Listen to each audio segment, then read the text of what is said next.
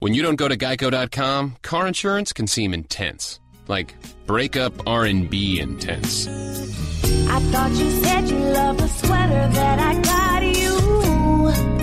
If you didn't, you could have told me. Geico makes it easy. Just go to geico.com anytime to update or check your policy without all the extra drama. I even had a gift receipt. Blog Talk Radio. Are you looking for an all natural solution to skincare? Try Simply Ceta all natural skincare products. Coconut oil locks in moisture with nature's finest organic solution. Rich with vitamin E and rejuvenating proteins, it can help with enhancing skin nourishment for wrinkles, skin damage, tissue repair, and more. Simply Ceta skincare line includes Simply Ceta coconut oil, Simply Ceta bath salts, and Simply Ceta bath gel. Get healthier looking skin today. Order all three today for $40 at www.simplyceta.com. And I know for a fact that it helps with diabetic edema. My husband has edema on both of his legs. He is insulin dependent, and he also has very dry skin on his feet and toes, and it has made a world of difference. You definitely want to go to www.simplyceta.com and order her products today. They do not have any unnatural ingredients or any preservatives. It is all simply coconut oil with maybe a little jasmine. Order it today. Are you looking for a website creator that will make your website stand out above the herd? Are you looking for someone that knows your needs and can create a website that is not only eye catching but one that will stay with the customer as they scroll through the net? If so, contact Wellhaven and Associates. Lourdes Wellhaven has the magic touch when it comes to websites. You give her an idea and let her run with it, and she will create something beautiful. If you don't believe me, check out author Yvonne Mason at .com and see what she has done for me. And here's the great thing. If you contact her and give her my name, she'll give you a hundred dollars off. So don't wait. Don't delay. Call today or go online and look up Will Haven and Associates and send her an email and tell her what you need. She will get back with you promptly.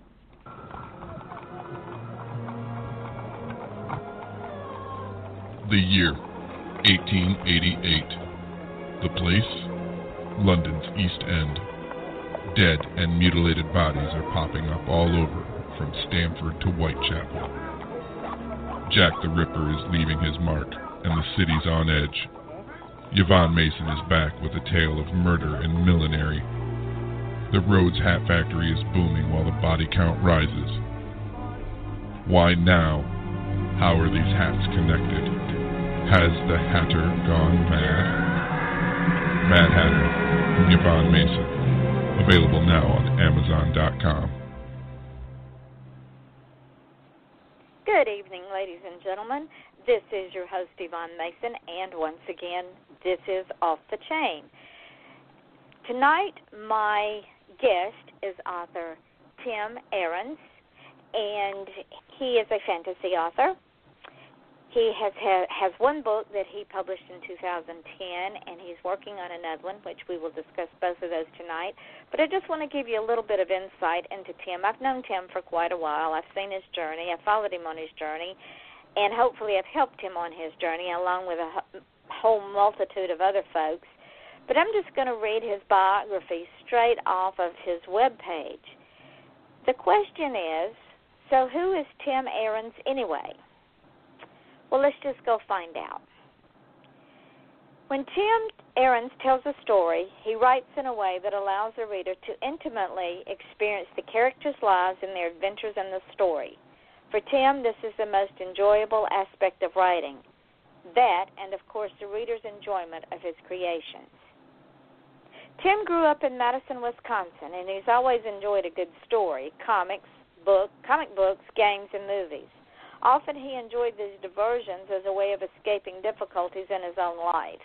In his early years, he would watch beast sword and sorcery movies and found that his imagination was what really was really inspired by them.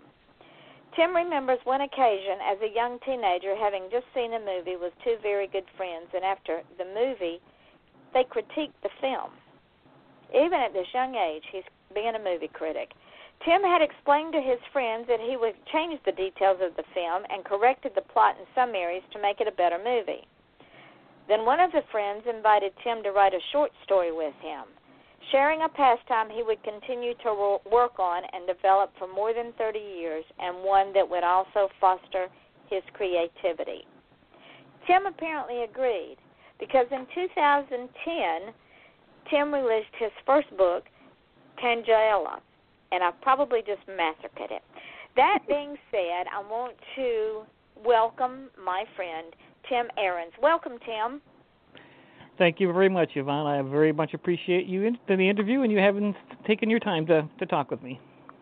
Well, you know, we've been down this journey for many years now, going on seven years. We've been down this journey. I think we I started out in 2006, and you started out shortly thereafter. Mm-hmm.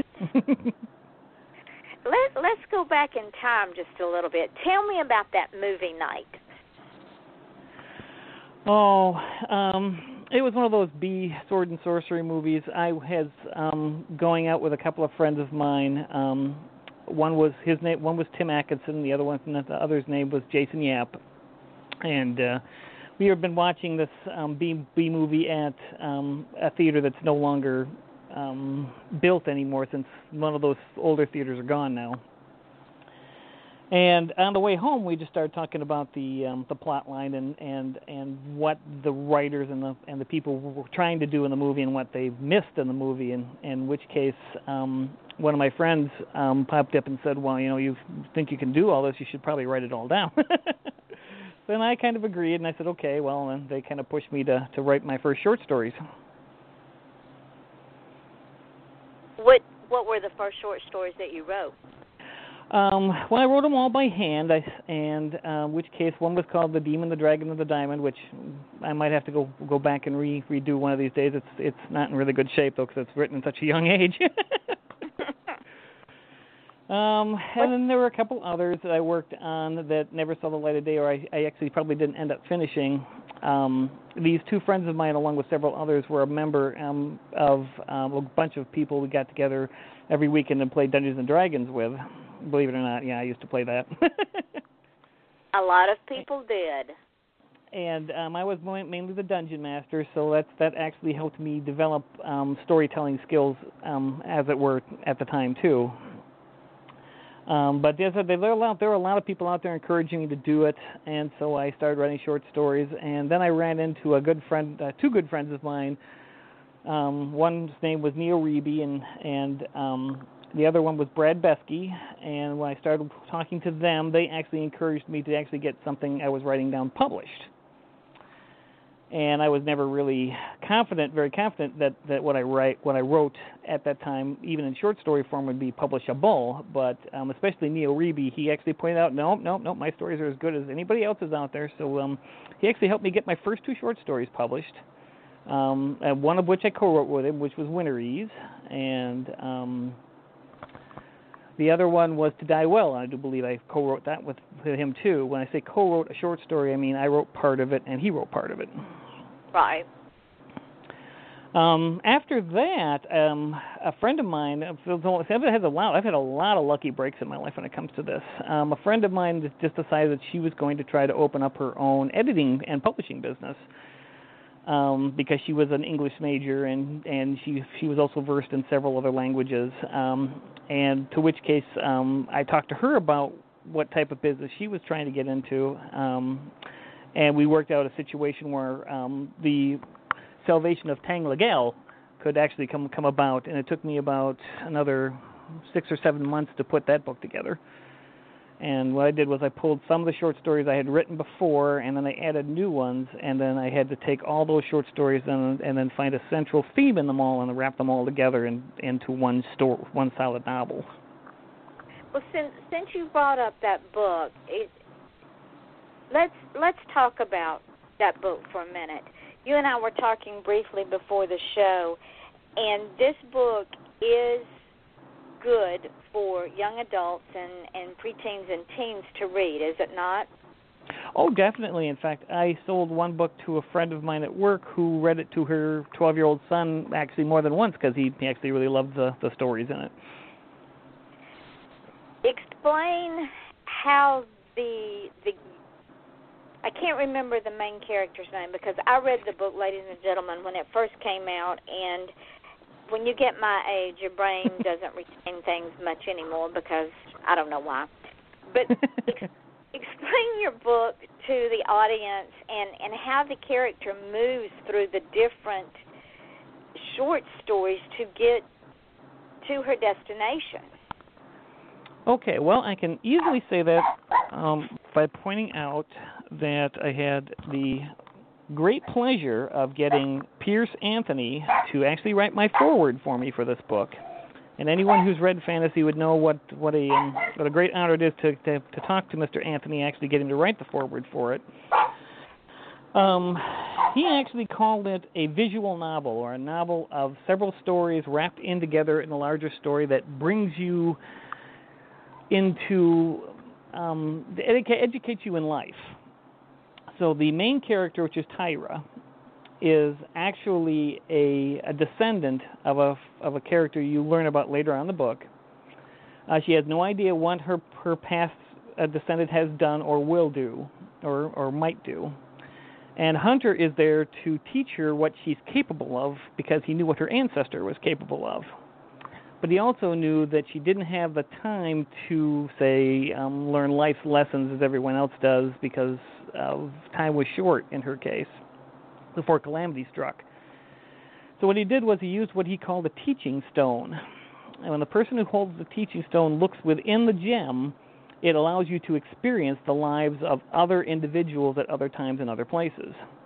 And then when you pull away from the gem, you can take that information that you've learned from them with you into your own mind, and thus it becomes your experiences along with theirs.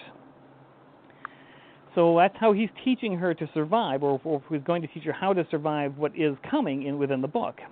Um, so the book is is contained contained within the book is about 13 short stories, and then I have three prologues.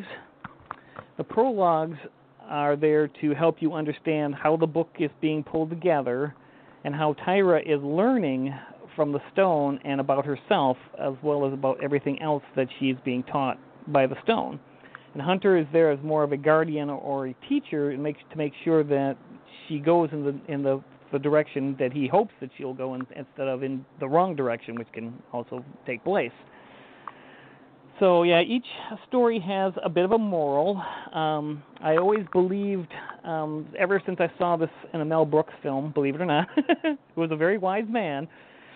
Um, he once said that if you have an audience and you're trying to teach them something, and they know you're trying to teach them something, you've lost that you lost that audience. But if you can tell a story in such a way that they'll be taught something without knowing that they're being taught something, then you've got an audience that'll pay attention. So this is it would be a good, this is why it would be a good book for preteens and teens. Is it teaches life lessons without them really knowing that they're learning those life lessons. Right. It allows them to interpret the lessons as they come along and and um, apply it to their own experience in in a way that would benefit them most. The same way And- that Tara did as she was looking into the stone and and moving through the different levels of her life. That's correct. Yep. I didn't forget as much as I thought I did. oh no, no. In fact, you gave me a beautiful review on it. Yeah, in fact, I have that review. Come to think of it, if I can find it, hold on just a second. Let me see, because I remember when I read the book, I couldn't put it down. I just it just stayed with me and stayed with me, and like I said, that's that's not my type of book because you know what I write and read, Mhm. but I could not put this book down. This is, ladies and gentlemen, this is my review of this particular book. I am not usually a reader of fantasy. However, when I was asked to read The Salvation of Tangela for author Tim Ahrens, I decided to give it a go. I must say that reading this book was a complete and utter joy. Mr. Ahrens took several standalone short stories and wove them into a wonderful novel of fantasy and suspense. He writes in both first person and third person, which as an author is very difficult to do successfully. He weaves the story in such a way that the reader wants to know how all of these short stories melt together. Tangela is a society that has lost its way and its memories, and with that, it has also lost its true purpose. All of the history has been destroyed and forgotten through apathy or greed and corruption. All that remains is a city full of citizens who have no souls. But one person is determined to renew the life and vitality of this city in the past. He seeks the one who will make that happen. This book is written in such a way that I would recommend it for young teens as well as adults. It is suspenseful, thrilling, and well written. In many ways, Mr. Ahrens has defined our society of today. He has written the story in such a way that shows what happens when people lose their way through greed and corruption and the refusal to learn from the past. Ladies and gentlemen, I gave this book a, a five star rating. I would have given it more if Amazon would have let me give it more. because this book has so many life's lessons.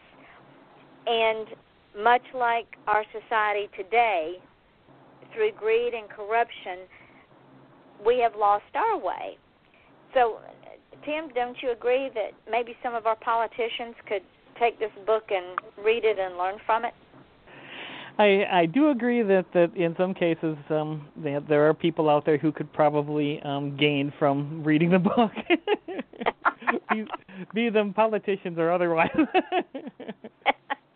well, your attention to detail because you know the old adage, if we do not learn from our past, we are destined to repeat it. Mm-hmm.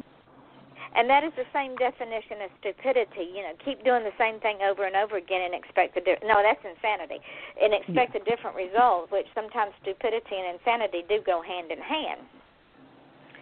Well, when I started writing originally, um, I know I, as I mentioned before, I've read quite a bit of Piers Anthony. I've also um, read Ray Bradbury quite a bit. Um, I read Huckleberry Finn, um, Sir Arthur Conan Doyle and and while you're reading this, a, a lot of these great authors, you learn that in some cases, when you're writing detail, less is better.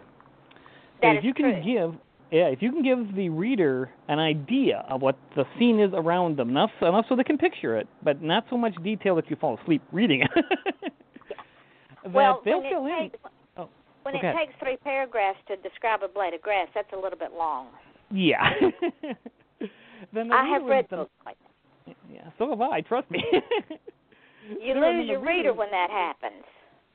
Yeah, you lose your reader, and um, the and so when you when you don't do that, you, the reader will fill in all the pertinent details that you don't for themselves, That's true. and they'll they'll actually make that that story more their own than they would have had you tried to force your own situation upon them. At least I've always found it that way, anyway. Well, I think you told me earlier that you tried to draw the reader into the book.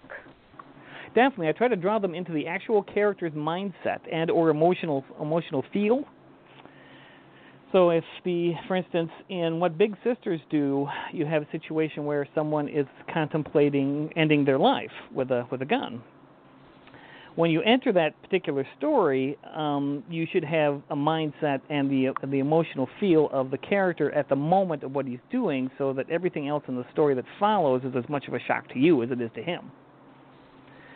Otherwise, um, you lose you you you lose a lot of poignant poignant um, points within the story to do that. So what I try to do is I try to get the reader not only mentally but emotionally involved involved with the characters that they're reading about, so that they can apply it to themselves. And this would segue into something else that, else that is in your bio, and that is that you are a huge fan of older style film Oh yes. from the 50s to the 70s, and explain why. oh God. Uh, in, it, no, this is pretty much all I can say is it's pretty much my opinion. Um, as I said, so um, I hope I don't offend anybody else about that. I mean, modern day movies are great; they they they they do a good job. But in my opinion, if you watch a Wuthering Heights or you watch one of the Universal old Universal films, Tyrone Power films, um, even some of the '70s films out there, they didn't have the special effects abilities or the CG art to fall back on when their stories what they were writing about had huge holes in them.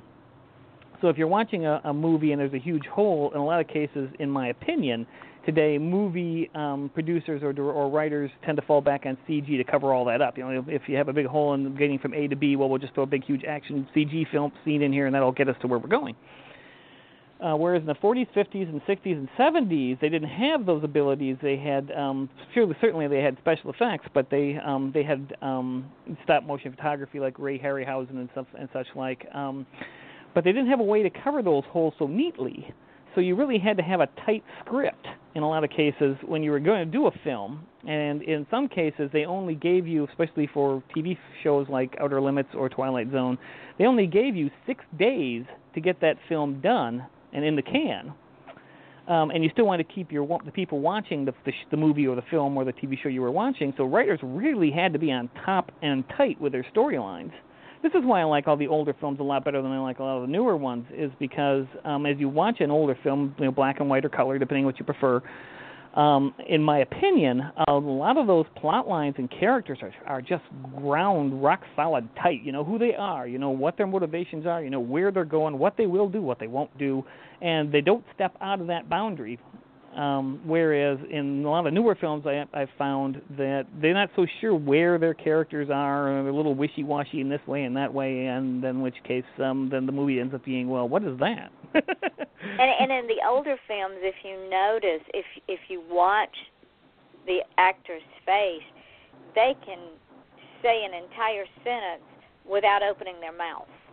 Oh, definitely. I can tend to 100% agree. Um, some of the great ones. Um, where uh, Laurence Olivier, he was great. Um, there's Tyrone Power. There's um, John Wayne. He was always great with that. Um, uh, oh, there's just uh, there's just so many I can't even keep up with them.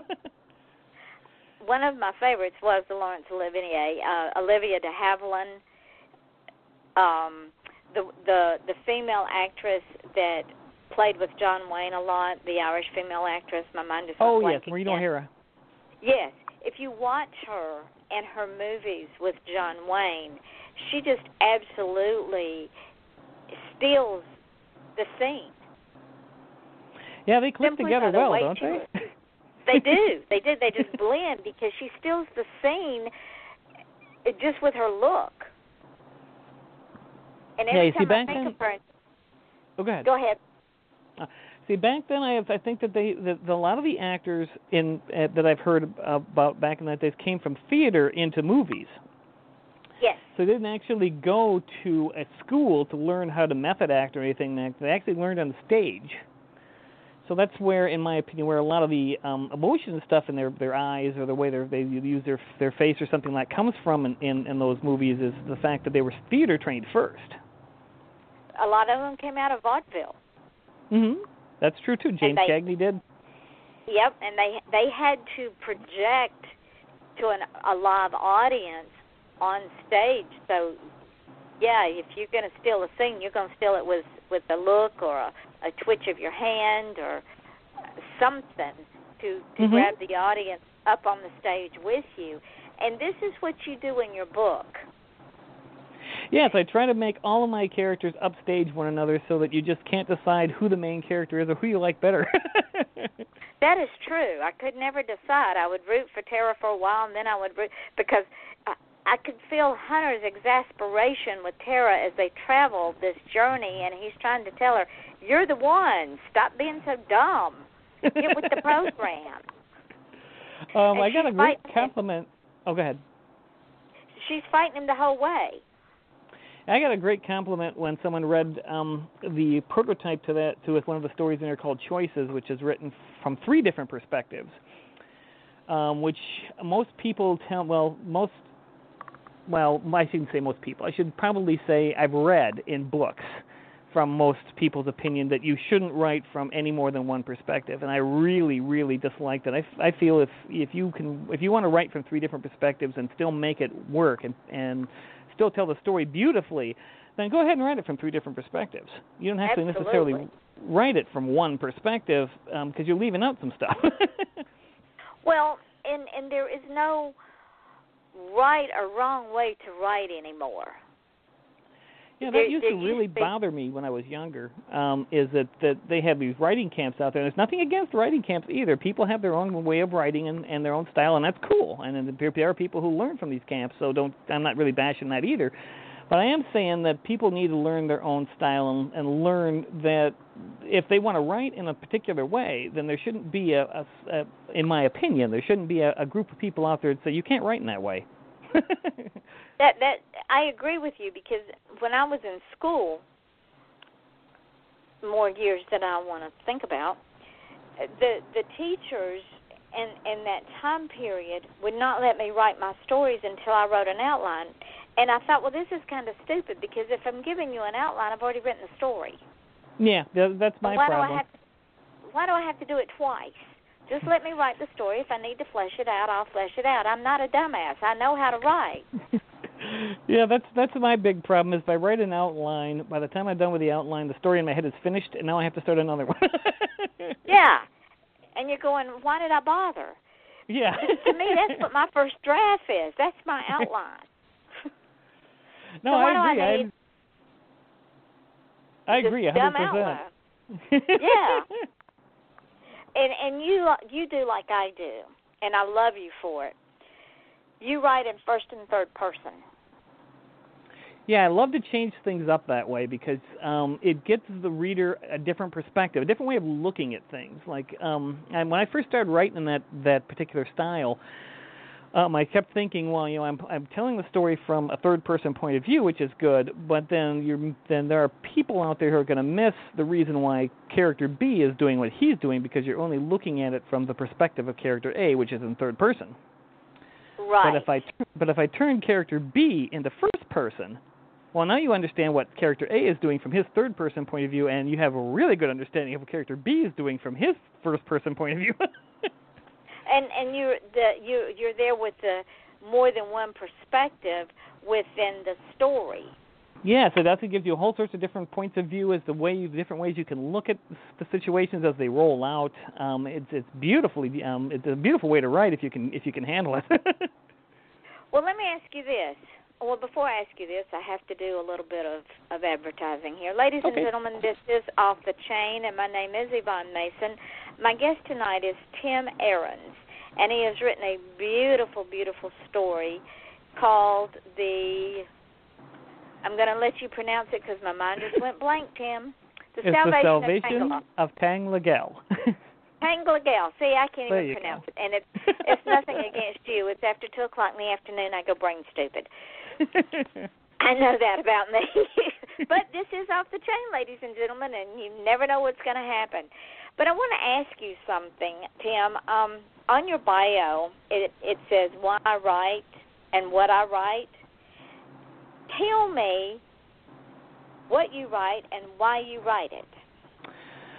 Well, um, I mainly write fantasy, although I do tend to write um, dark fantasy, a gothic horror. Um, sometimes I'll write a science fiction piece, although it's more science fantasy than science fiction because you, I'm not what you would call a hard science fiction writer, as there several of my other friends would would be. Um, in other words, um, instead of doing intensive studying to get the science fiction field down, I tend to um, let it, you know, kind of fly in the wind and, and hope it sounds more like science fiction than it does a fantasy story.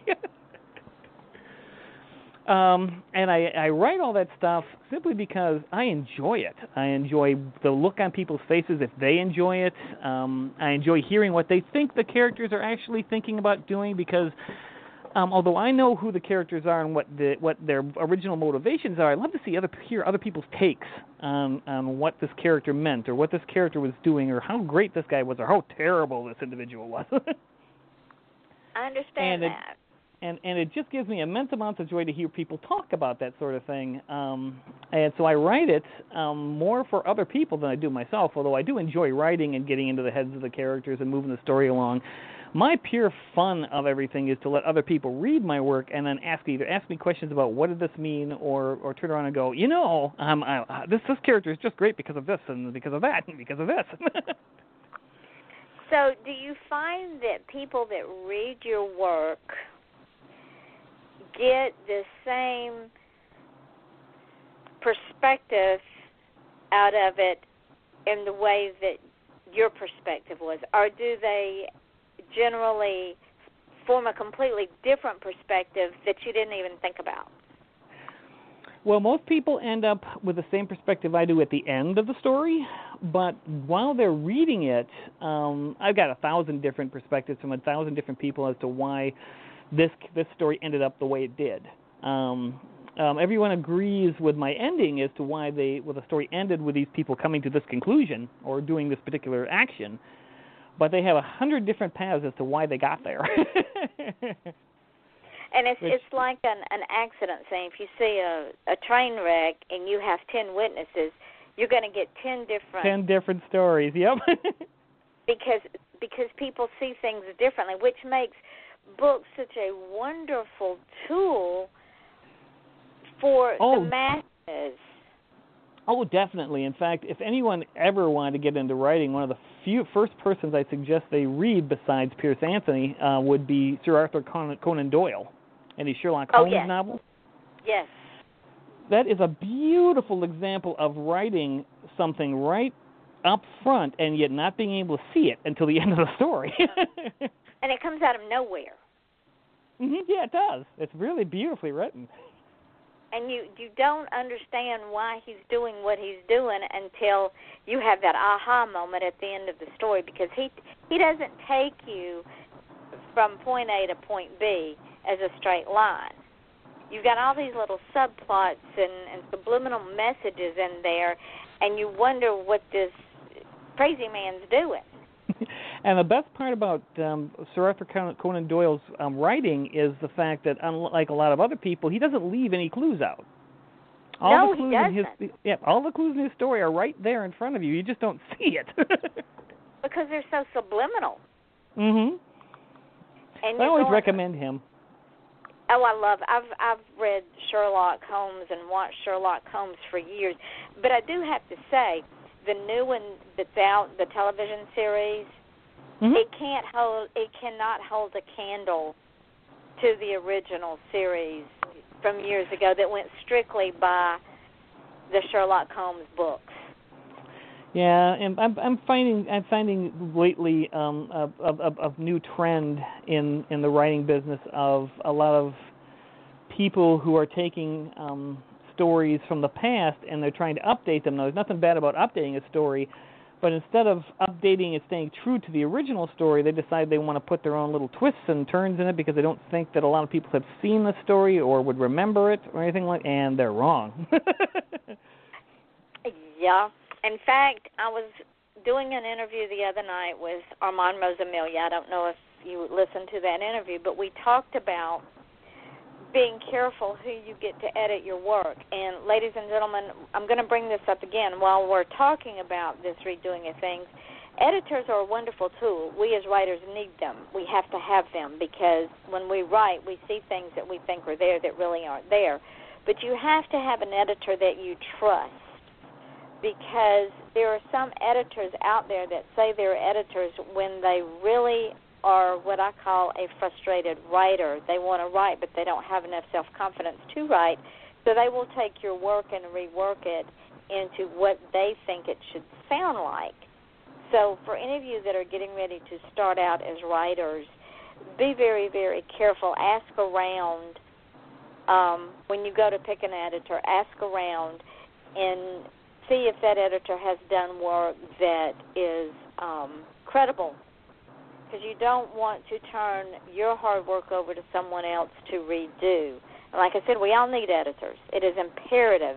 Because I can tell you, I leave dangling participles out all the time. Um, I wholeheartedly agree. Um, my book wouldn't be anywhere near what it is without Lucid Style Author Services or Gene and Eric Turman. Um, and the best part about what they did for the book was they didn't impede the stories. If she didn't understand something, she came right out and told me exactly what she didn't understand and what she thought I should do, what she thought I needed to expound upon so that it was more understandable.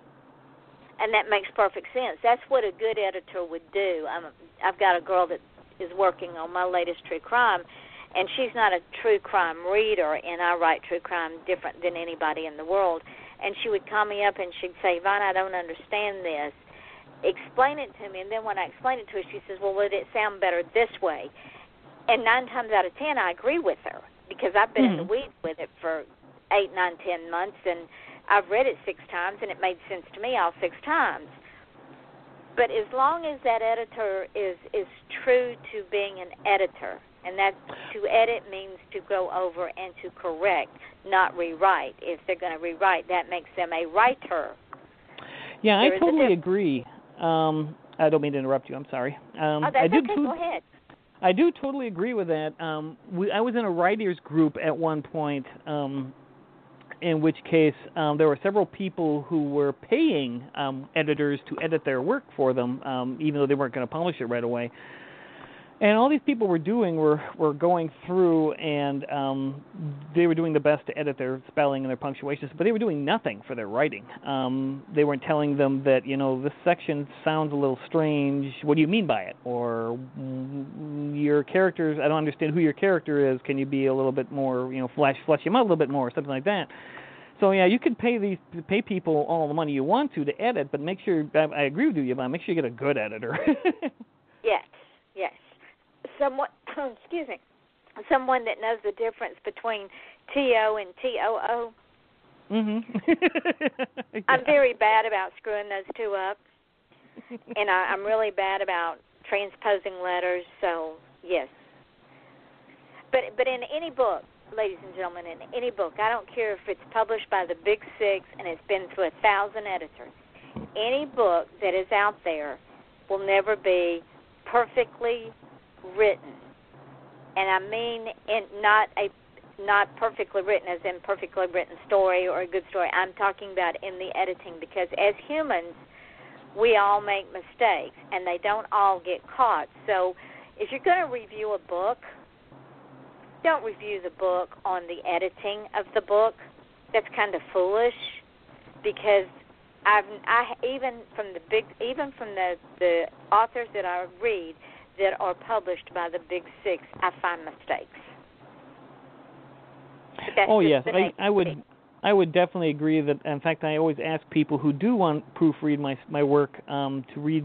Please read it for content. Do not read it for um, typos or anything. Just read it for content and tell me what you think of the content. Exactly, because uh, the other is like beating a dead horse. You, we all make mistakes. That is the nature of the beast. In fact, I was reading. I think it was a um, a book by um, Burke, James Lee Burke, and I read the sentence, and then I read the sentence again, and then I read the sentence a third time, thinking, "What am I missing here?" Well, there was a mistake, but that did not delineate from the book itself and from the the content of the story. It was just a mistake. It happened. Get over Mhm. it. yeah, you shouldn't be too hard on a good editor. Exactly. And you shouldn't be too hard on a good author. I agree with that too. Let's talk I about your philosophy on life I and tend- living. yeah, I tend to think that the hardest people on authors are the authors themselves. That is true. Oh, that is so true. That is I know true. more. I know more writers that beat themselves up over something they've done that that, that, that they've written that I thought was really quite good, but no, it was never good enough. It's not good enough.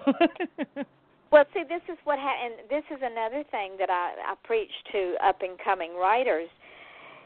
When you finish that book, let it go. Don't sit there and redo it and redo it and redo it and redo it because it's it's like anything else. The more you mess with it, the worse it gets. And you cannot keep you can't keep going back and fooling with it because if you do, you just screw it up. yeah, you, you tend to you tend to lose focus of what you originally were intending when you wrote the book if you keep back going back there to rewrite it all the time. That I definitely agree with. exactly. So let's talk about your philosophy on life and living. Um, actually, I just think you should enjoy life as much as you possibly can. I mean, there are situations um, that come up that that are going to throw roadblocks in your way and and slow you down, stuff like that. But my philosophy has always been to to just try to to take one step at a time when it comes to those points and and climb over the wall slowly. And you get over the other side, you'll be a lot happier. And you also say Um, don't sweat the small stuff. Yeah, I wouldn't. Um, I would because it's it, there's a lot of a lot of stuff that people including myself, um, have dwelled on in the past that make a small matter this huge monstrous beast. Well, when you think about it, it's all small stuff yeah.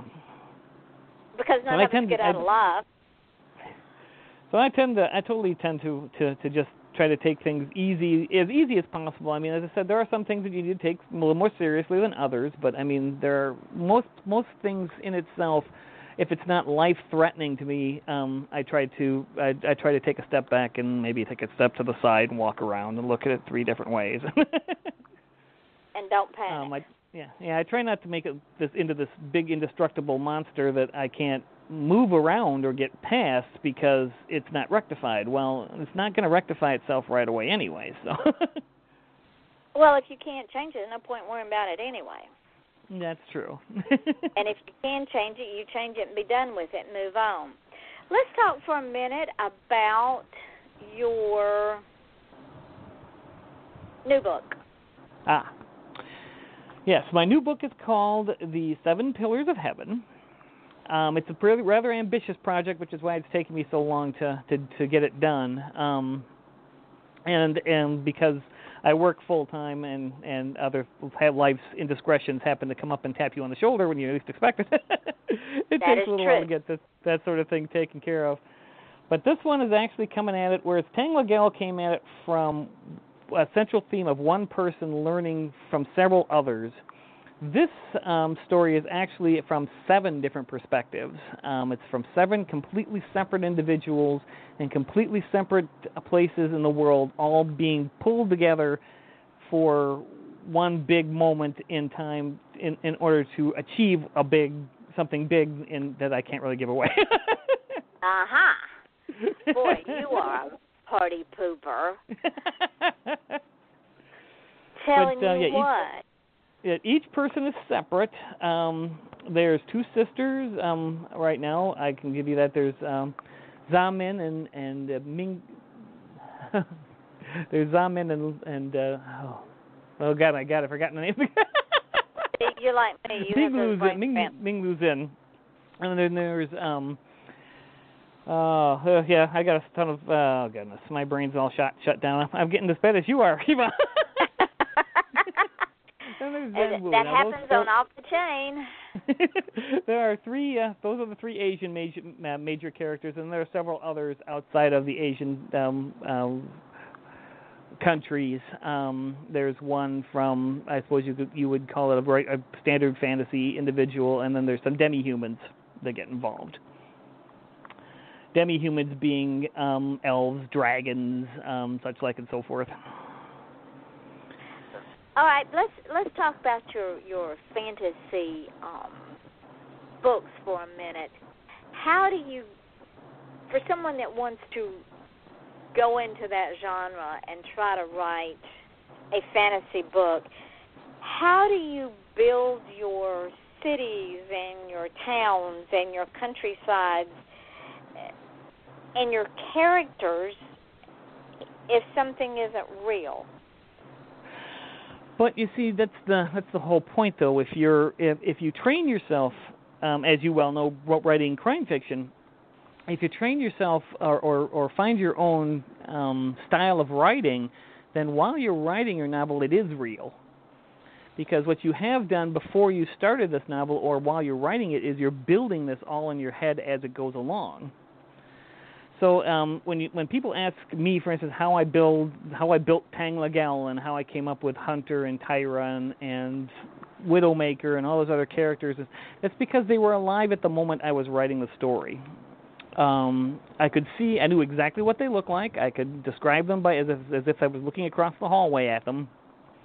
I know what their voices sound like. I know how what their personalities were like. Um, how do I create all that? They just they they they build themselves into the character as the character moves. How did Uh, you it's really get the hard- name Tang? How'd you get the name Tangla Gale? Um, believe it or not, that one I just came up with off the cuff. In most cases, I come up with character names and or places by looking at ordinary objects around me. Like um, the one I wrote with Neil Reeby, uh, my short story um, "To Die Well," um, I came up with the main character Rayla, Well, Rayla was was based off of Rayovac battery because of the Rayovac battery on the, on the counter.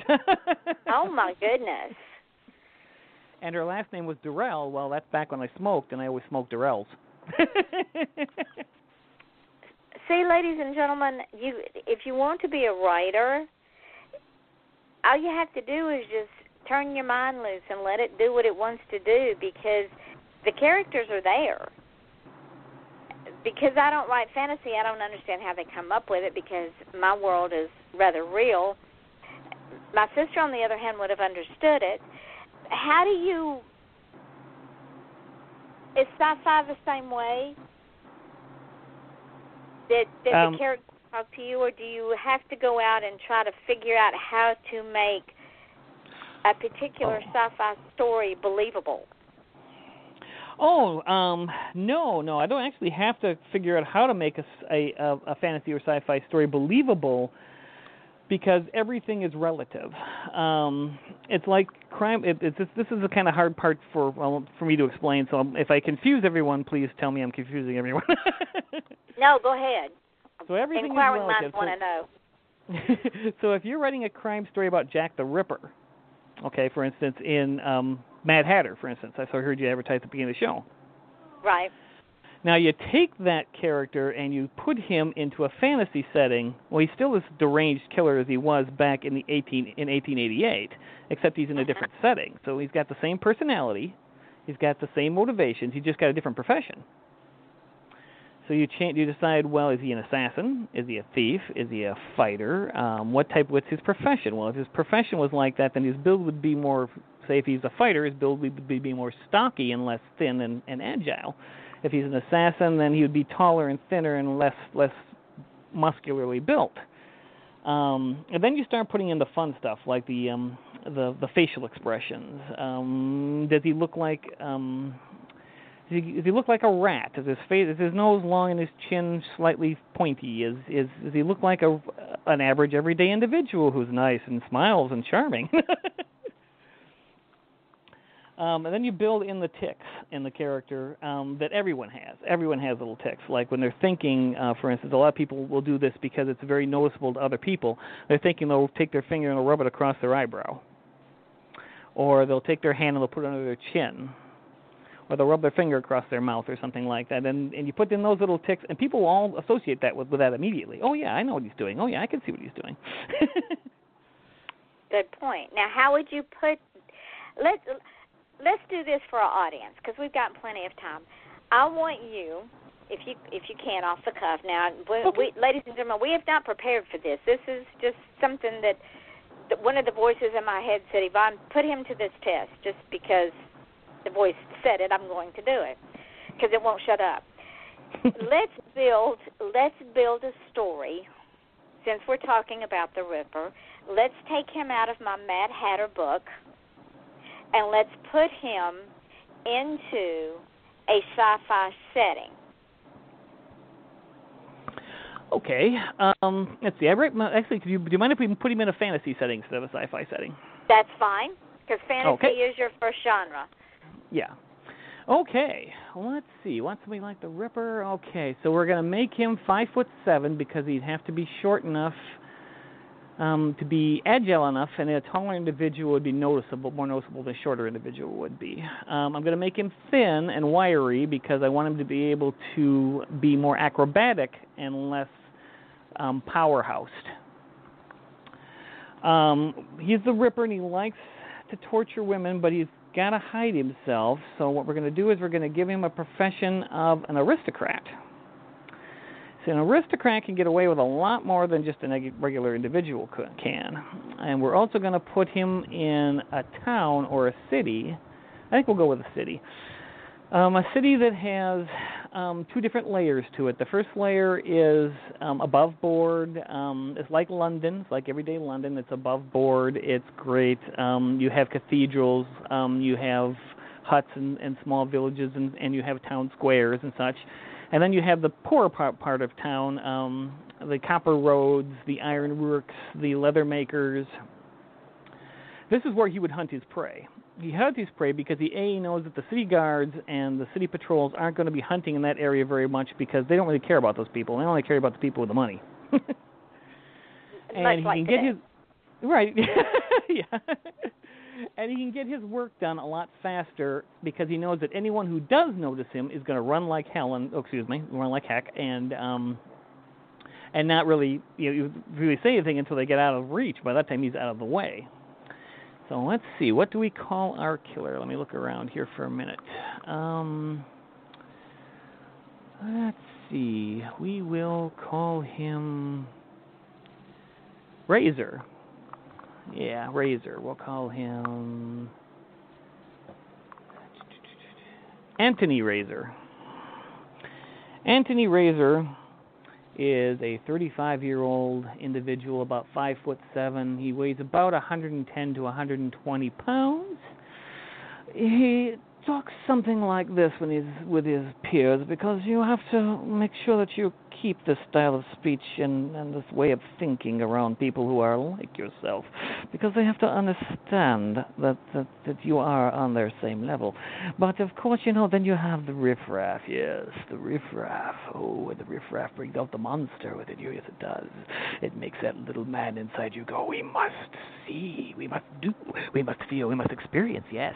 And my knives, oh, they look glistening in the night, don't they? And then you put blood upon them and they look glistening even better. And then there's always the cute little women who denied you when you were younger. Oh, they denied you, but they'll deny you no more. that is You is just beautiful. Now, what would you call this fantasy town? Oh, geez. Um, let's see. Is a city name? Um, Indigo Prefect is a good is a good start. Indigo Prefecture. Indigo Prefecture. I like Mhm. that. Now, of course, you have to have a secondary character that it runs parallel to your protagonist. Mm-hmm. So how and and the Ah, Ripper this is the fun part, though. This Yeah, is the, the fun Ripper- part. the real Ripper had a a police captain that spent his entire life trying to find him, and of course he never did. And there are so rumors that he did find him, actually. There are rumors, but they've never been proven yet. Right. Correct. in but this is a fantasy. So in Mhm. in this fantasy, your your My secondary character Right. can either find him or not. So how would you describe via name, just like you did with with your Anthony Razor? Let's do the secondary character. Okay, well, this is the fun part because the secondary character would have to play off the main character, and you'd have to you'd have to be interested enough to follow the secondary character while the main character is doing evil stuff that might be interesting you more. That's true. So the first thing I would do is is flip things up. Most people I've read in the past would make the secondary character like um like hi- historic historically accurate would be a police lieutenant or a guard or something like that would run across these bodies and want to end this thing. Me on the other hand, I would make it a female. I'd make his protagonist a female who's who has learned the arts of mm, thievery, for instance, which is actually really a good uh, a good play off of this. She's a thief. Um, how would I make her look? That all actually depends on on the way the character acts, because I've got about 45 to 50 anime figures around me that I can pull out different descriptions of characters all over the place here. Because I'm a big anime fan. Okay, so pick blend some together for us. Okay, so let's see. We'll make her. See, I think so. If we've got Mr. Razor's going to have dark hair, either brown or black hair, we're going to make her a redhead because that makes her fiery. Um, she's a thief, so we're still going to keep her short, about five one, so she's hard to notice. Um, we're going to make her athletically built, and we're going to give her green eyes because that tends to show a with it shows up a with red hair, and it also shows intelligence. Um, at least in a character when you look at them. Um, we'll make her wiry, um, and we'll also make her the only individual who knows who he is. All right. she also understands that if she goes to the city guard, she goes to anyone else, no one's going to believe her because she's a peasant, she's a thief, and she's a criminal. To which case, they'd be more than happy to lock her up rather than believe her and lock an aristocrat up. So now this little woman, say I'll make her, ooh, this is even funnier. I'll make her between 16 and 18. She now has to figure out how to stop this individual without getting caught by the guards. Um, stopping him may mean getting him caught. It may mean killing him outright. It may mean turning people against him and or setting him up to, for a fall. But all this has to be done without the guards' notice, without without any of the aristocrats getting wind of it, because they'll shut everything down and, and he'll be protected. So she'll have to rely on her friends. Um, so now we have, we have to create some friends that she'll run into to, for help, and the world just keeps growing from there. uh, what and what would you name her? Ah, let's see. We'll call her Vanessa Salt a nice play on the last name because she has it many. See, I picked right up on that. Now, would this be set in a London Whitechapel type setting, or would it be set in a a setting of steampunk era London Whitechapel? Where would you set this? Okay, well, these characters could be set in several different possibilities depending on how deep and which direction you want to take the story. But if I were just doing a straight fantasy story, I would take a um, a medieval village, a medieval town or village um, like London in the 1700s or 1600s, with the castles and the and the brick buildings and such like and so forth. And then I would also, being at fantasy, I can do all this stuff. I I would mix in a little um, Tannerian action from Viking eras and um, armor from different nations, such as it's a port city. Um, uh, the the air itself would not be clean. It would be choked with um, coal and stuff because that's what they burned back then was coal. So it would be choke and choke. Uh, if, if it wasn't thick, it'd be it would be musty everywhere. Um, the streets would be rather dirty because they only they waited for rainwater to clean those off. That's true. Uh, um, the city would be bustling because once again it's a port city. Um, in the poorer sections of town, it would be quieter. A because the riff more the riffraff and gang members uh, of that area and the, and the bullies would be around that area, but more because Mr. Razor has been in the area and now people are afraid. would she have any um, qualities that would enable her to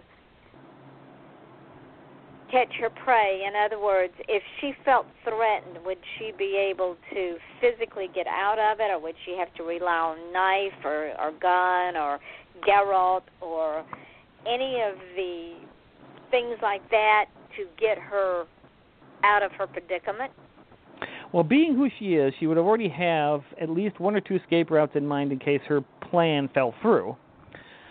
But if those plans, if those escape routes were blocked, or if he uh, if he cut her off against those escape route escape routes, um, then she would have to rely on her ingenuity, um, her ability to use her knife. Since um, if she's a thief, she couldn't carry anything too heavy or large. She'd have to be a small, mobile knife that she could use at close quarters.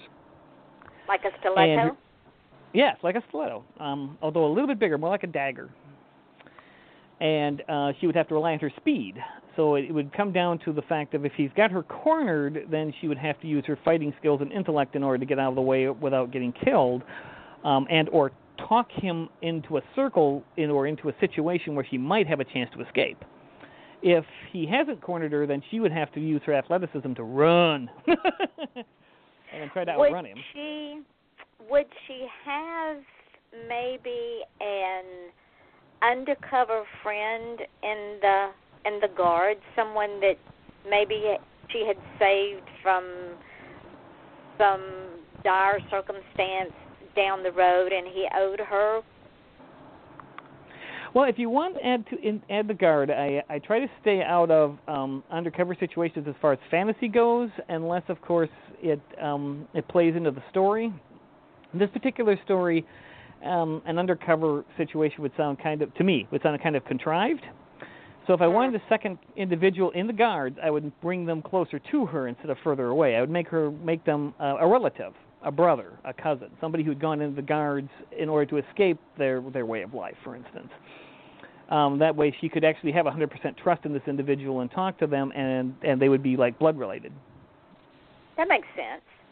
But would would let's just say for the sake of this fantasy discussion, would they would would the guard not know they were related because maybe he didn't want them to know who she was? That he Well, might have he- to arrest her sometime or something. Well, you see, I can hide. He can hide his identity through paperwork. That's easy enough. This is where the fun of of writing this kind of these two kind of characters come in because you can put humor in this situation. That is true. and I've always found that true. if if you're writing a serious story, whether it be fantasy, science fiction, gothic horror, um, humor is is a great catalyst for um, livening the lightening the mood ever so much every every once in a while because you really do have to lighten the mood occasionally. Yeah, because if you don't, you get so bogged down in it, it makes you depressed when you're through reading. You want to go out and hang yourself or something. Yeah. yeah, I could name a couple of names of of books like that, but I won't. Yeah, one one of the biggest letdowns that I read years ago was Rosemary's Baby because when I got to the end, I, I went, "What? Really?" Mm, yeah, Really? I'm I'm I'm I'm I'm not as well established as you, so I'm going to refrain from naming off. I, I sat there and read through the whole thing. I'm thinking, "Good always overcomes evil," but really, yeah. really, and and So then I would, the other um, one, Okay. The other one that really blew my mind was um, uh, what's her name with the green pea soup and her spinning her head. Green pea soup. Oh, The The Ex- Exorcist. Oh. Yeah, I'm I'm thinking the movie. You know, she threw up in this green pea soup. You would have had to seen the movie because Actually, I'm I did. after. Well, after I read the book first, and then I'm watching the movie, and I'm going, really, this is pitiful. That's an, that was another one of those things where the special effects over overdid the the storyline. mm.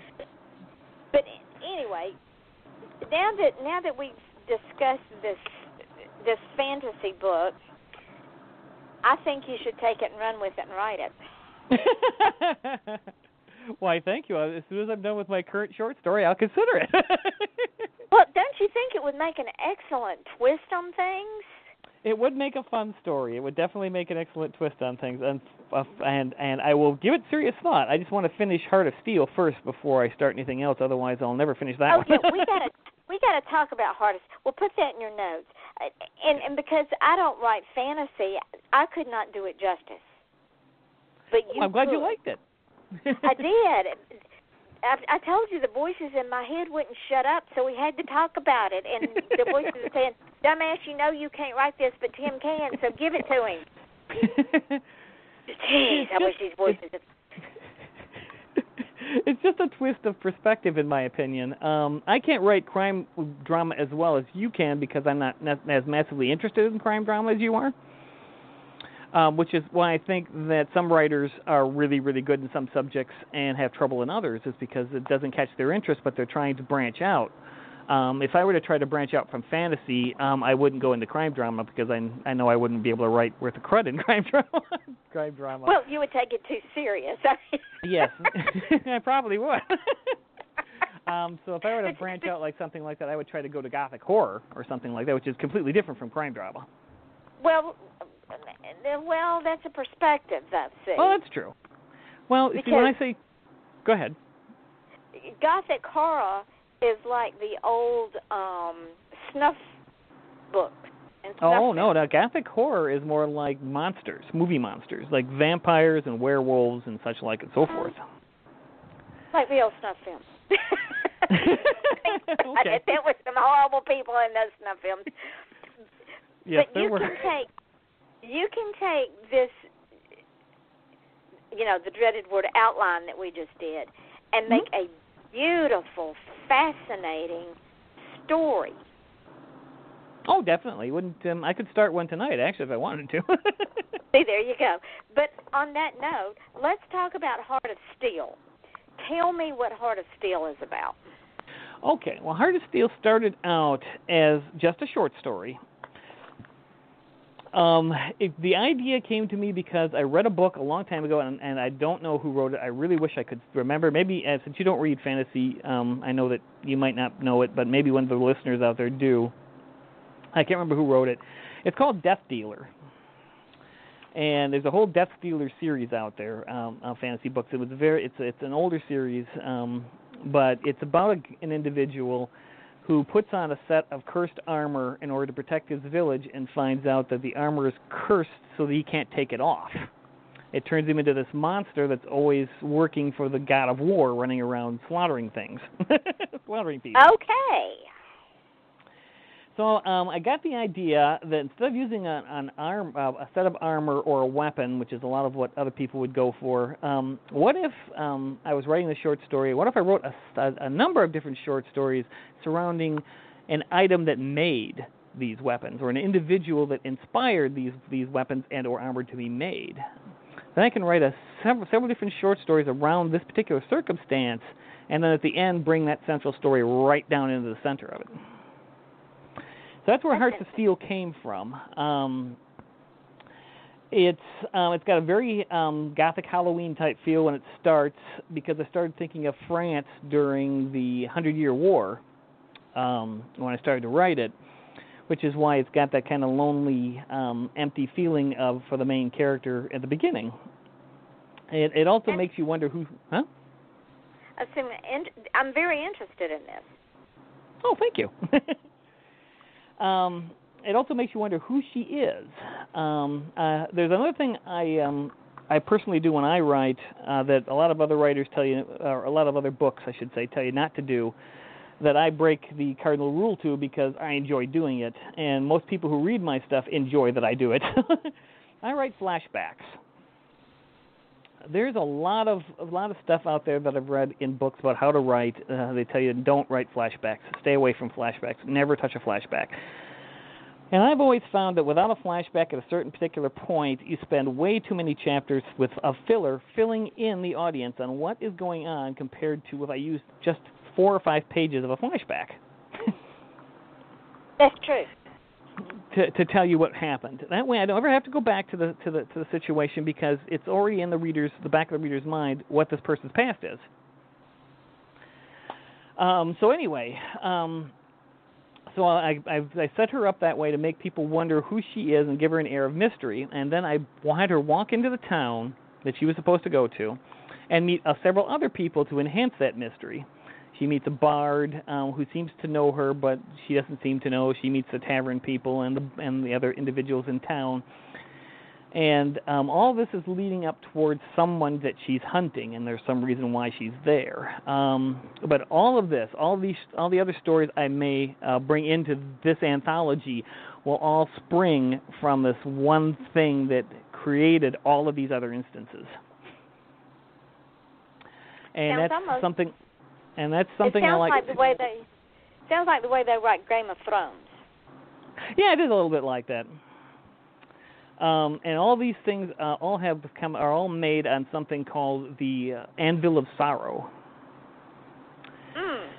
Now, I'm not going to tell you what the Anvil of Sorrow is, but you can you can pretty much get your imagination run wild for that. yeah, doesn't sound like a friendly anvil at all. Um, it's not meant to be.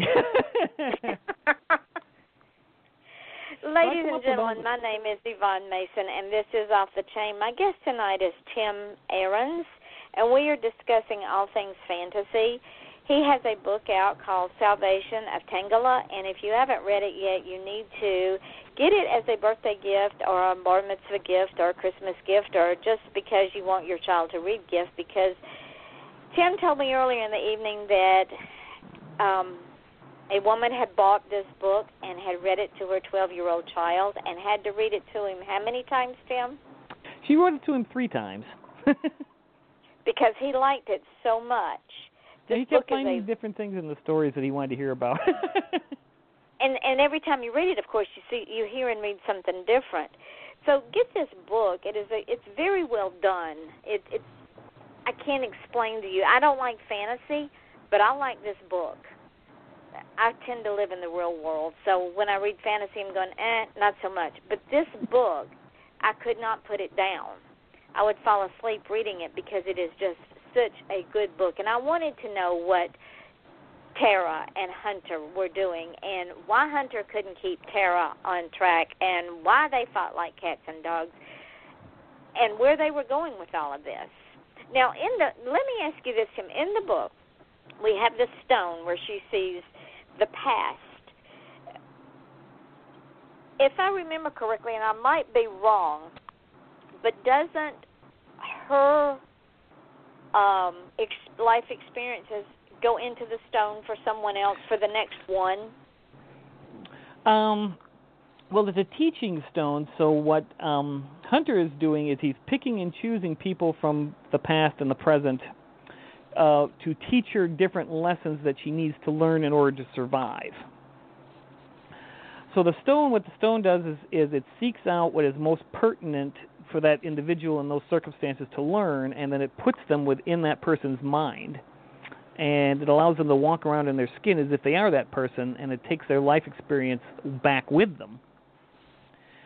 So if for some reason Hunter had decided that it was pertinent for another individual to to learn something of what Tara had done or would do in a certain situation or a, a skill that she had that no one else no one else could copy, yes, then he could actually use that stone to draw that out of, of the past or the present into someone else.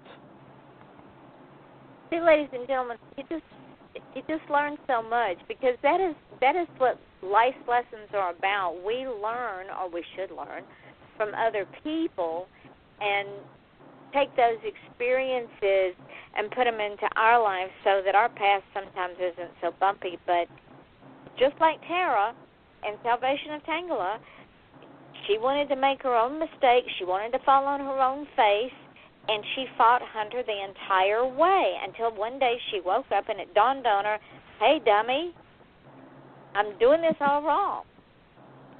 I can't save my city if I'm not paying attention. Am I correct in that? You're very correct. Much like today, where the definition of insanity is we keep doing the same thing over and over again and expect a different result. Let me ask you this. Um, Well, Tell I know the that audience. one. Okay. Go, Go ahead.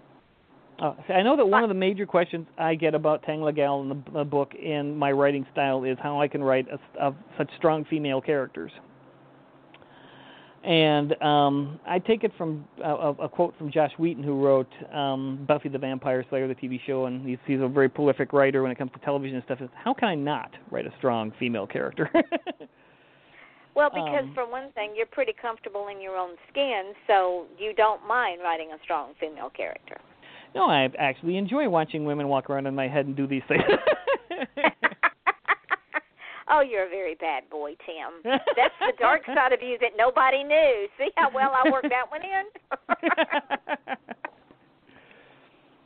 But I know that a lot of people have trouble switching genders, and I never had a problem with that because to me, people are all the same. Um, personalities are, are, to me, pretty much universal. Um, uh, the gender just um, just changes the attitude that people look at that that that character to be. Um, so if I want to throw people off of track of something, I'll take a, a, a character that would traditionally be male, and I'll turn it over to female, or vice versa. Interesting. And that throws people Very. left and right. Yeah, that that would throw me. Except I have done that in one of my books, and like you, I've had people call me and say, "What were you thinking?" uh-huh. I don't know what to tell you. It's just what the character told me to do. Deal with it. What I would like for you to do, I for one did not know who Piers Anthony was. I've never read any of his work, Oh. but he he's had an influence on you. Ex- explain to our listening audience who this author is. I know I'm going to have to read his work now simply because you've piqued my interest and I have to see what it's all about. So explain to me what he writes, how he writes, and how he influenced you. Oh, Piers Anthony is is a well-established writer. Um, as I said, he was he was gracious enough to write me a um, an intro to my book. He's written all the Xanth series of novels. They're a fantasy series of novels of in other other dimensions. Um, so you with Xanth, you can go from a modern setting into a fantasy setting by walking through a doorway. Wow. Um, uh, he's he's written the Xanth series. He's written the um, what is it the uh, uh, oh yeah the eternal the eternal. Let me think here. Oh, the Immortal series. Yeah, he wrote the Immortal series. That is based off of um, immortal beings that have been known through time, like Death, or um, the Weaver who weaves the skees of fate. Um, all those are great books. He's he's read uh, he's written the um, the Blue Adept series, which is another great set of books um, that deals with science fiction and fantasy both combined. Beautifully written. Um, along with all with several others, say he's a very hugely prolific writer, um, and his work is still out there. Um, I know he doesn't get as much attention as he used to in the past, but I recommend people go out, and especially people who like fantasy, decent fantasy, with a great sense of humor and beautifully told stories with very well-rounded characters. I recommend people go out there and read his stuff again and pick them up because they are just great, especially On a Pale Horse, which is one of my favorite books by him. I've heard about that book, but I didn't know he wrote it. Yes, he wrote it. Uh, it's it's the Immortal series. It's called. It's uh, on the Pale Horse is about death. Um, in in uh, God, I think it's um, uh, I can't remember the complete title, but I think it's in the in the scheme of in the scheme of time. Um, this, this deals with the Weaver of Fates. Um, uh, he deals with the Norse goddess, a couple of uh, the three North Norse goddesses of fate. He deals, deals with quite a few of um of uh, myths and legends, and he brings them into modern settings. now I know I've got to read him just because you made him interesting. Like I said, because fantasy is not my genre, and I did not know who this writer was, but I am open to reading him because he sounds like a fascinating storyteller. Oh, he's he's great, and he doesn't bring his own personal perspective on religion or anything into the books themselves, uh, or into his own books. He actually allows the reader to do with what they wish to do with you know with the characters of the book when it comes to that. I know I've read quite a few books in the past where where uh, some of the writers are trying to push their own beliefs on onto the reader as they as you read through the book. And Piers wasn't like that at all. He actually um, he actually gives you um, opposite perspectives of, of of say for instance religion and uh, whether people want to believe in religion or not or believe in death or not or and he's a beautiful beautiful writer when it comes to that. And and back to perspective, the way that that you write, you allow that reader to also draw their own perspective. And in in we've talked about this before the show that when readers read a book and they do the reviews, they want to say, "Well, I think the writer meant this." No, not necessarily. That's what your perspective is you're you as a writer might have had an entirely different perspective, and it doesn't mean that it's right or wrong. It's all no, relative. No, I, yeah, yeah. No, I never take uh, the attitude that what I've written is is should be perceived in stone as this is the way it should be perceived. Because if I were to take that attitude, people wouldn't enjoy my stories at all. that is true. But on the flip side of that, readers should not be adamant that what they got out of that book was was different than what you wrote, and so therefore what you wrote wasn't a good book. It's all it's oh. all relative in in how they perceived the story within itself. Like we talked Correct. about earlier, you have ten people at a train wreck, you're going to get ten different perspectives. Doesn't mean it's right or wrong. Yeah, it they should all come to the same. They should all come to the same conclusion at the end of the story, though. Right. There's a bad Mm-hmm. guy, good guy. That things happen the way they did. We might not always like the way it ended, but that was the story. Mhm. I've had um I've had a few people tell me that there are a couple of stories in in Tanglegel that um they wish it ended differently. Well, but, see, this um, this happens.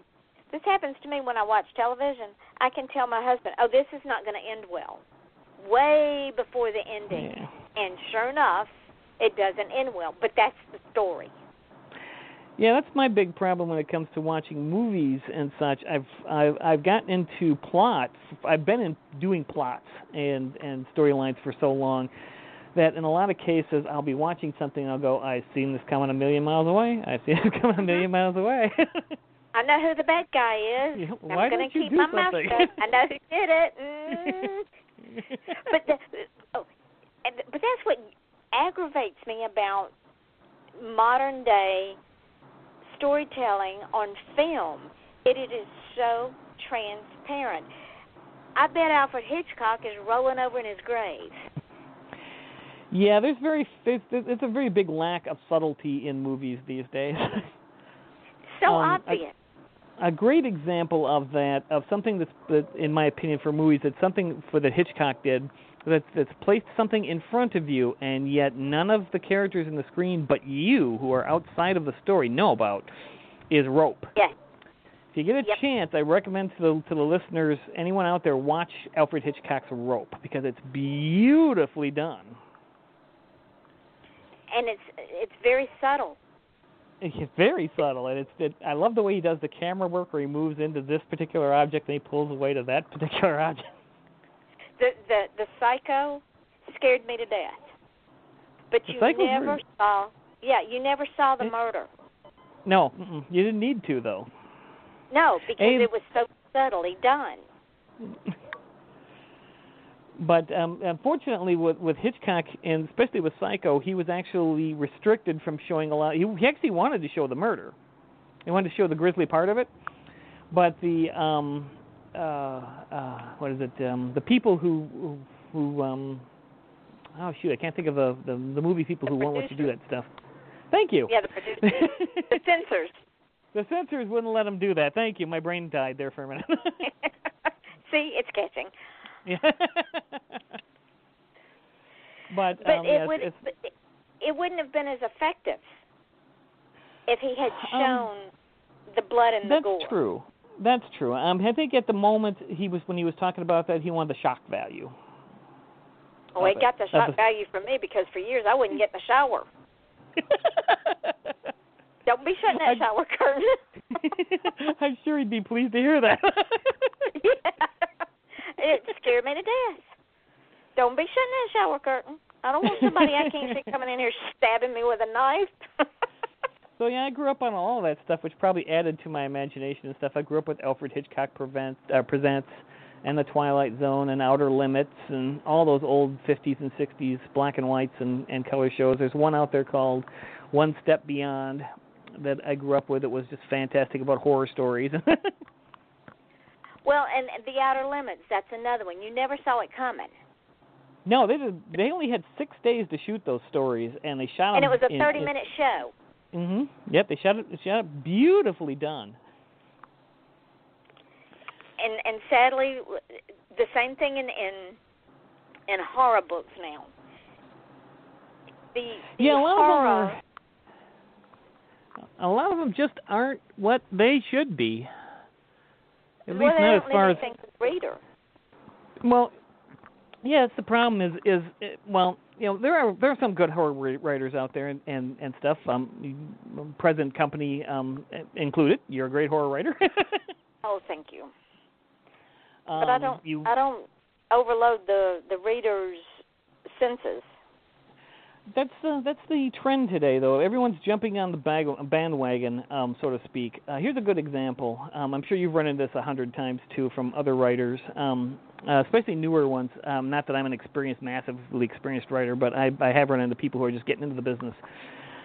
Uh, in which case, um, when, when Fifty Shades of Grey came out, Oh, good God! um, I about a dozen, yeah, about a dozen people I know dropped whatever they were doing and started to write these erotic erotic books now because they'd sell. Well, that doesn't mean they're going to sell when you got it finished.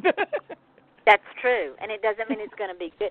Fifty Shades of Grey, and and I I don't know. I'm not normally critical of another author, but sadly, Fifty Shades of Grey is the epitome of bad writing.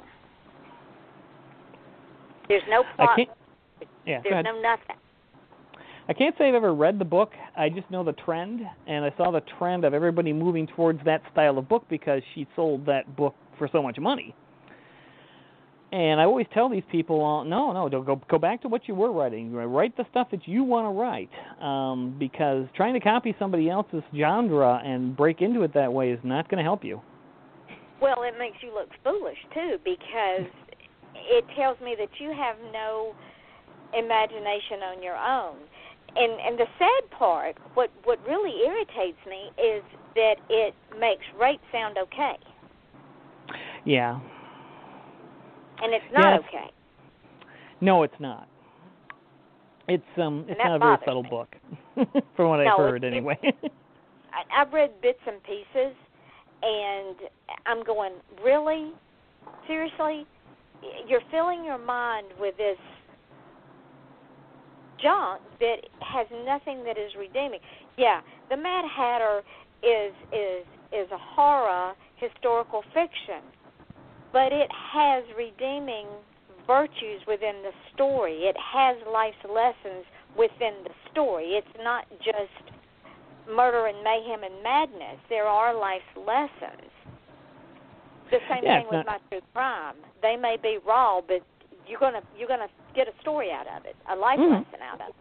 Same thing in your fantasies. You may have some horrible things in your fantasies, but they're just not ramblings of over the top junk. Yeah, no, um, no. Your your books has have have nearly as much as much as much of a point as my books do, um, as far as that sort of thing goes. Um, in fact, I think that there are a lot of people out there who don't realize or remember a lot of these characters from history, and they should be reminded of them. Uh, the, especially the Ripper, Exactly. Especially the Ripper and and such like. Um, um, these things should not should not be forgotten. No, because history keeps repeating itself over and over again. We have um, a little more than four minutes left, so I'm going to give you about three of those minutes to tell the listening audience your philosophy about fulfilling your dream and how they can do their fulfill their dream. Um, if you want to fulfill your dream, the best thing you can possibly do, I agree with a lot of other people who've said this before me too, don't give up on it. Never give up on, on, on a dream that's reachable. Um, if you want to be a writer, um, work at it. Um, you don't necessarily have to do it 24 7. You don't necessarily have to be a Stephen King. You don't necessarily have to be me or anybody else. Um, you should find your own niche and, and do what you enjoy if you never get to the level of Stephen King, like I may never get to the to, to being selling books like Stephen King, um, but I have sold a few. Um, that's fine because I enjoy doing what I'm doing. I'm living my dream the way I wish to live it. Um, my dream isn't to make millions and millions of dollars by writing a book. My dream is to write a book that everyone will enjoy.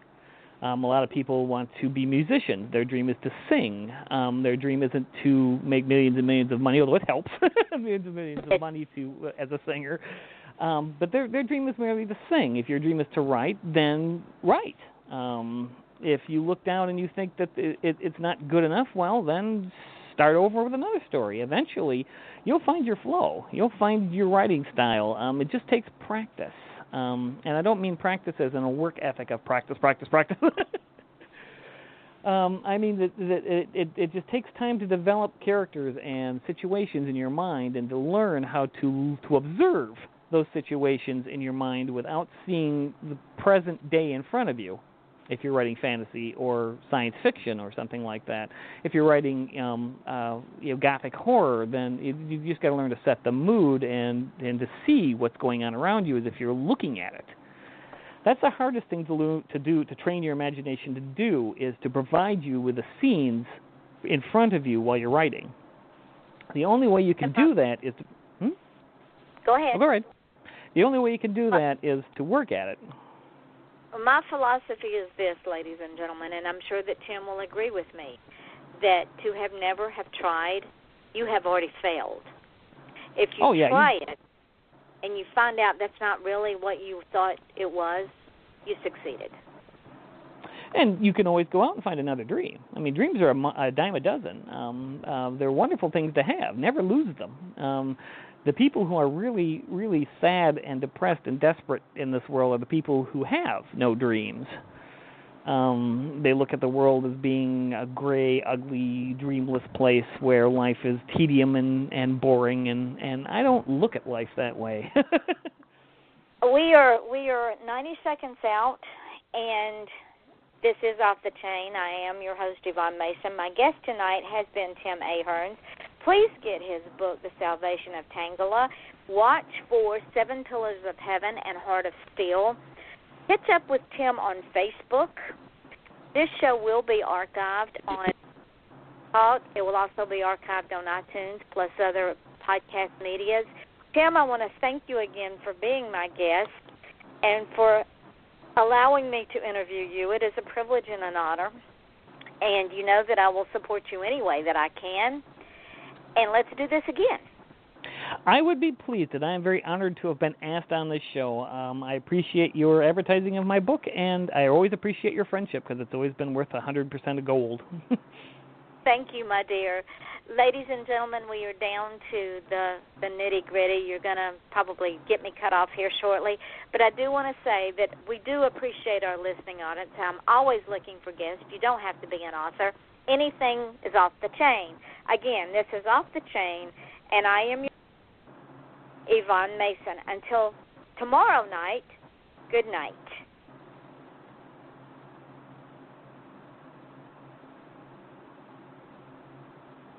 Tim, thank you so, so much, my friend, for coming on the show tonight. I appreciate the advertising. I appreciate your help. I've always appreciated you. and what I will do once I get these uploaded, I'll send you all the links. I will also send you the link to iTunes so that you can pass it around to your friends that use iTunes and let your friends know that it also goes to Stitcher. I'll send all that to you once I get all the different links and then you can pass it out and put it on your um on your website and on your Facebook page and let's get Seven Pillars of Heaven out there and start promoting it. Thank you very much, Yvonne. I appreciate everything you've done for me in the past and the, in the future. And if you ever need anything, as I've said before, by all means, just call and ask. I'll be right there for you. Thank you, dear, and I'll talk to you tomorrow. Have a good day. Or All righty. bye bye.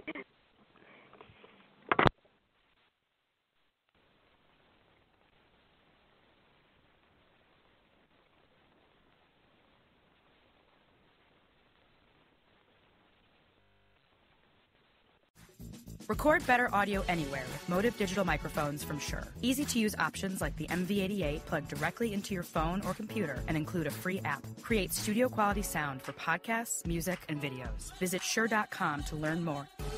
I figured out who the neighbor around the corner is. Oh, yeah? I like him a lot. Ooh. He lets me talk as much as I want, is very simple, and has great plans. Okay, I have to meet him. Sure. Say hi. This is Metro PCS. Metro PCS is in your neighborhood. Come say hi and get unlimited data, talk, and text for only $30 period. All on the fast nationwide 4G LTE T-Mobile network. Metro PCS. Wireless. Figure it out. Coverage not available in some areas. 1 gigabyte of high-speed data included. See store for details, terms, and conditions, and data management info.